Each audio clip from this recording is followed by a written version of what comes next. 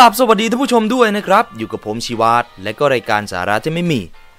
วันนี้นะครับ ผมจะมาพูดถึงการตั้งชื่อนะครับ เพราะว่าตอนนี้ผมเองก็กำลังจะมีมีลูกนะครับ ผมก็ตั้งชื่อเล่นไว้แล้วว่าฟันฟานนะครับ แล้วที่ที่ผมจะมาพูดถึงหัวข้อนี้นะครับ เพราะว่าผมไปเห็นแฮชแท็กอันหนึงนะครับ แม่จะตั้งชื่อลูกแบบมีสติ ก็มีคนถามไปว่านะครับ เห็นบางคน ตั้งชื่อลูกหลานแล้วไม่ห่วงมันโดนเพื่อนล้อตอนโตเลยหรือวะ อืม ไม่ใช่แค่เพื่อนล้อตอนโตนะครับ ผมคิดว่า ตอนแก่ไปนี่แม่งน่าจะโดนล้ออีกมันก็คือการตั้งชื่อแบบว่าตะมุตะมิเกินไปนะครับแบบว่าน่ารักคิกขู่เกินไป แล้วพอโตไปเนี่ยเพื่อนอาจจะล้อ พอแก่ไปเนี่ยมันก็อาจจะฟังดูแปลกๆนะครับ อืมยงยีเคยได้ยินชื่อแปลกๆไหมสกายแลบนะครับ สกายแลบนะครับถ้าเป็นผู้หญิง อืม เราคือว่านางสกายแลบนี่นะครับ มีลูกมีหลานเสร็จปุ๊บ หลานก็ต้องเรียกยักย่าเรียกยายว่า คุณยายสกายแลบเป็นยิงเท่นะครับ มีชื่อกันอีกไหม ของผมนี่ก็ฟันฟานนะครับถ้ามีหลานเขาก็น่าจะเรียก ปูฟันฟานอะไรแบบนี้มันก็ยังไม่ไม่ไม่ไม่เท่าไหร่นะครับ โอเคถ้างั้นเราก็เข้าไปดูกันเลยนะครับว่าจะมีชื่ออะไรกันบ้าง เย้อืมน้องข้างบ้านชื่อ Family กับ Fanta อืมแฟนต้าก็พอโอเคนะครับ อาจจะผันไปเป็นคำเดียวว่าต้านะครับ น้องต้า คุณต้า ลุงต้า อืมอันนี้อันนี้ใช้ได้อยู่แต่ Family เนี่ย น่าจะเหลือคำว่าลี่อย่างเดียวนะแบบนี้ยงยีคิดว่ายังไง ลี่ใช่ไหมเออใช้ได้อยู่นะครับ แต่ถ้าจะให้เรียกเต็มยศน้อง Family นี่ไม่ไหว อืม เพื่อนมีสามคนชื่อ โอบชื่ออ้อม และชื่ออารียายอารีตัวมามีลูกสองคน ชื่อหมีภูกับหมูพีฮึม ถ้าน้องหมูพีอ้วนเนี่ยน่าสงสารเลยนะเนี่ย ไปไหนวะหมูพี เรียกผีเฉยก็ได้บ้างแบบนี้หมีภูเรียกภูเฉยๆได้ไหมวะ ได้ได้ได้ได้ได้แถวบ้านผมมีคนชื่อยายภูอยู่นะครับ งงสุดในชีวิต เพื่อนหลานชื่อน้องคอใหญ่ ผมอ่านตอนแรกผมอ่านว่าดอใหญ่นะ ได้ฟังแล้วไม่เชื่อค่ะ ต้องไปขอคำยืนยันจากพ่อแม่น้องอีกที เชื่ออะไรนะครับ ค่ะ คอใหญ่นั่นแหละ ก็ดีนะครับที่เป็นคอใหญ่ ถ้าไม่ใช่ถ้าถ้าเป็นดอเด็กนี่สวยเลย อืมมีน้องไม่ตั้งคอถอกไปเลย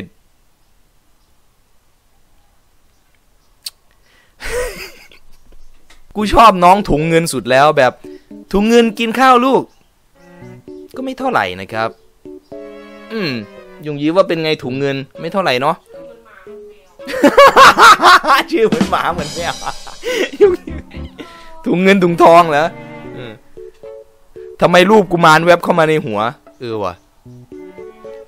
เพื่อนของลูกสาวเราชื่อน้องโอเมก้าทรี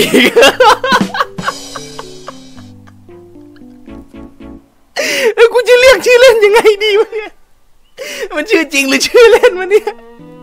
ยงยีฟันฟ้าน้องโอเมก้าทีมาแล้วลูกตอนเด็กๆมันก็น่ารักนะครับ ใช่น่ารักจริงอแหละ แต่ ไปทำงานเนี่ยแบบว่าประชุมอยู่นะครับอาเชิญคุณโอเมก้าทรีลุกขึ้นมาอภิปรายหน่อยครับ ขอเชิญคุณพ่อโอเมก้าทรีมารับลูกที่หน้าโรงเรียนด้วย แล้วตอนแก่ไปจะเป็นไงวะเนี่ย ปู่โอเมก้าทรีร้านชื่อเซนเทนส์อืมเราเรียกเซนก็ได้เรียกเทนส์ก็ได้นะครับ อันนี้ก็ก็ไม่เท่าไหร่แต่เซนเทนส์เนี่ยแปลว่าอะไรวะเซนเทนส์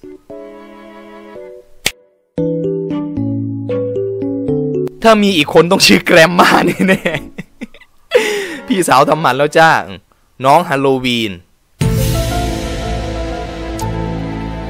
อืม สงสัยจะผวนเป็นคำสุดท้าย ตัดตัดเหลือแค่น้องวีนอย่างเดียวนะเนี่ย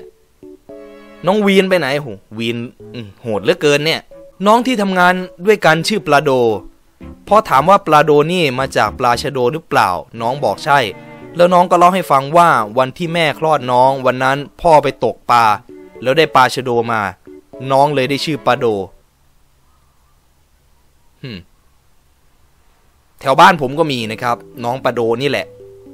ไม่รู้ว่า backstory จะเป็นเหมือนกันหรือเปล่านะครับปลาโดก็อยู่ร้านร้านค้าร้านขายของชำหน้าปากซอยผมนะครับ ซึ่งน้องเขาก็ติดตามผมอยู่ใช่ไหมปลาโดเนี่ยถ้าดูเนี่ย คอมเมนต์ คอมเมนต์ ร้านชื่อเซย่ากับดราก้อนคือตั้งชื่อไม่เผื่อแก่กันเลยทีเดียว ปูเซย่าตาดากอนครับ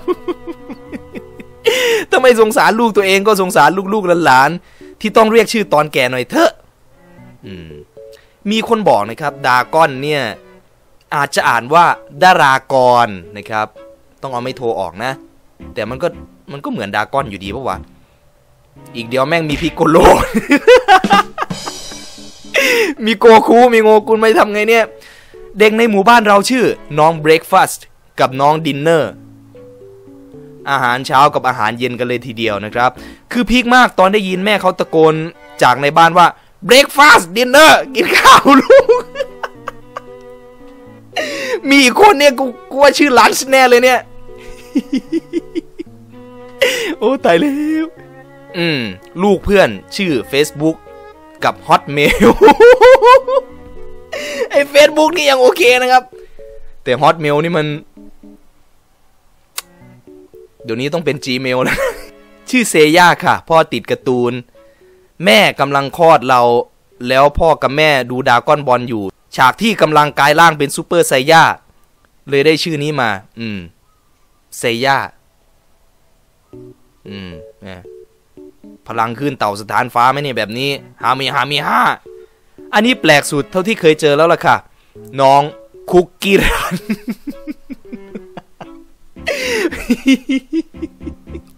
คือแม่ต้องเล่นคุกกี้รันใช่ไหมแบบ เล่นกันทั้งพ่อทั้งแม่นะครับมมือชนมาอีกแล้วลูกออกมาชื่อคุกกี้รันเฉยเลย ดีนะเนี่ย ที่ลูกผมออกมาไม่ชื่อว่าเมกาแมน ไม่งั้นก็จบ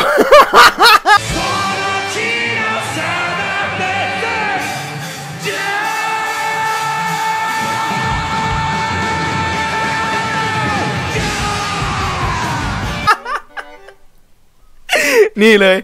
โจโจ้ล่าข้ามศตวรรษนะครับ อันนี้ก็ดูการ์ตูนนะเนี่ย ดีนะผมไม่ติดนารูโตะถ้ากูตั้งชื่อลูกว่านารูโตะจะเป็นยังไงวะเนี่ยเออ พูดถึงตั้งชื่อลูกนะครับสองเดือนที่ผ่านมามั้งผมเห็นฝรั่งตั้ง Facebook นะครับ ถามว่าถ้าผมได้ 1 ล้านไลค์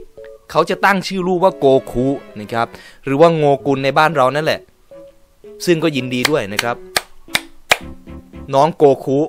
ก็ได้ลืมตามาดูโลกเป็นที่เรียบร้อยแล้ว เพื่อนร่วมชั้นหลานชื่อไบโอดีเซล ก็เรียกแค่ไบโอ หรือดีเซล จะไม่หันต้องเรียกไบโอดีเซล ส่วนหลานเรานั้นชื่อมาร์คดูปกติสุดๆในห้องแล้วไบโอดีเซลนะครับ ลูกของเพื่อนแม่ชื่อ Easy Buy กับเครดิต ฮึเป็นหนี้กันเลยทีเดียวนะครับแบบนี้ อีกหน่อยเดี๋ยวคงมีน้องเบนซินกับแก๊สโซฮอล์ไม่กอดในกลุ่มไลน์แม่ๆของเราชื่ออาคเนแซลมอน โพนี่กูเกิลหนักสุดคือตู้เย็น น้องตู้เย็นนะครับเราชื่อขนมปังปอน มันดูไม่แปลกนะ แต่ตอนแนะนำตัวเราว่ามันยาวอะ่ะ ไม่ใช่แค่ปังหรือปอน หรือขนมปังหรือปังปอน จริงๆ คือขนมปังปอน แต่พอโตมาแล้วแอบตัดออกเหลือแค่ปังปอนพอ ใช่ครับ ปังปอน เพื่อนเราชื่อดุกดุย อะไรคือดุกดุยวะเนี่ย คือเพื่อนไม่กล้าแนะนำตัวเองเลยอะ่ะก็ไม่แปลกนะครับแถวบ้านเราแต่ก่อนมีชื่อว่าอะไรนะอีอีวึง อีวึงวึงสีแล้วอะไรอีก บักกึมบักกึมปึกนะครับปึกเป็นปีก อีวึงนี่น่าจะเป็นปากเวอร์ใช่ไหมยีวึงวึงปากเวอร์ใช่ไหมเออก็แล้วแต่บริบทนะครับ ส่วนกึมนี่แปลว่าซื่อบื้อครับ ส่วนปึกปึกนี่แปลว่ากระหลืนเอาไม่ใช่แล้วปึกก็แปลว่าแปลว่าโง่นะนะครับ วันนี้เพิ่งคุยกับแฟนเรื่องนี้ล่าสุดแฟนบอกว่า ถ้ามีลูกจะตั้งชื่อว่า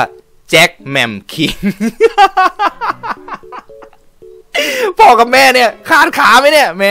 แจ็คแมมคิงกันเลยทีเดียว ของเราเคยไปเที่ยวแล้วเจอแฝดอะไรแฝดชอชอแฝดผู้ชายเหรอชื่อพระรามพลักษ์แล้วมีผู้หญิงในรถเข็นชื่อสีดา อันนี้เท่ว่าแต่น่าจะโดนเพื่อนล้อตอนเด็กนะเนี่ย และตอนแก่บางชื่อก็ดูตลกด้วย ตอนทำงานก็ดูขาดความน่าเชื่อถือ อืม มีน้องที่โรงเรียนคนหนึ่ง ชื่อเป๋าตุง เป๋าตุงหรือเป้าตุงวะเนี่ย อืม เป๋าตุงนะครับ ไม่รู้น้องเป็นอะไรกับ เป๋าตุงกุ้งยางหรือเปล่า อืม เวอร์เนียก็น่ารักนะครับ ส่วนเป๋าตุงเนี่ยก็ดีแล้ว แต่เชื่อผม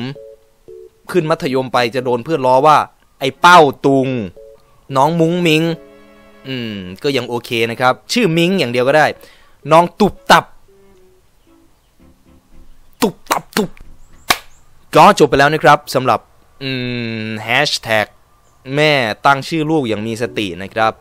ท่านผู้ชมมีชื่ออะไรแปลกๆ อีกหรือเปล่า ก็สามารถคอมเมนต์บอกผมไว้ข้างล่างได้นะครับ ก็ขอบคุณท่านผู้ชมด้วยนะครับ ที่รับชมรับฟังมาขอบคุณมาก แล้วเจอกันใหม่กับรายการสาระแทบไม่มีพาร์ทหน้าบายสวัสดีครับ